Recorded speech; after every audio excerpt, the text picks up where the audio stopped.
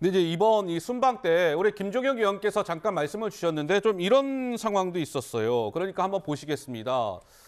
어, 이제 환영식에서 소리가 좀 들리는 거죠? 자, 애국가가 이제 연주가 되고 있는데 윤석열 대통령 부부 가슴에 이렇게 가슴 경례를 하고 있습니다. 가슴에 손 이렇게 경례를 하고 있죠. 그런데요.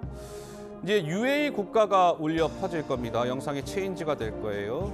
체인지가 됐군요. 자, UAE 국가가 연주되는 상황인데 지금 윤석열 대통령은 계속해서 가슴에 이렇게 예의를 손을 얹고 표하고 있습니다.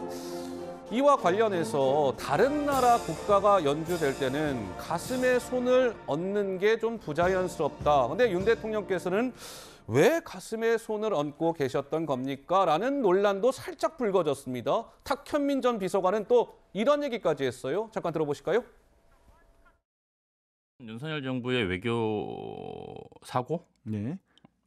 100%는 다 대통령의 잘못이에요. 음. 비서관 출신이어서 이렇게 말씀드리는 거예요. 왜냐하면 보고를 안 할 수가 없거든요. 아, 인사는 음. 어떻게, 악수는 왼쪽이냐, 오른쪽이냐, 상대가 먼저냐, 내가 먼저냐, 전부 브리핑을 해야 돼요. 음. 그게 프로토콜이에요. 무슨 배짱으로 그걸 안 하겠어요.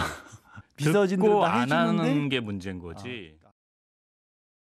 그쪽 이해. 그러니까 저게 천하람 변호사님 뭐 네. 다른 나라 국가가 나올 때 가슴에 손을 얹지 얹어서는 안 된다 이런 또 규정은 없다고 하거든요. 이 논란은 어떻게 봐야 됩니까? 네, 그렇습니다. 뭐 규정은 없고 사실 뭐 타국의 예의를 표하는 거다라고 이해할 수 있는 부분도 있습니다. 그럼에도 불구하고 사실 조금 저희가 보기에 어색한 부분들도 있기 때문에 저는 예. 이 부분은 차제에 대통령실에서 좀 정리를 하는 것이 필요하지 않나 저는 뭐 그렇게 보고 있습니다. 알겠습니다. 시간상 좀 말씀을 짧게 들었습니다.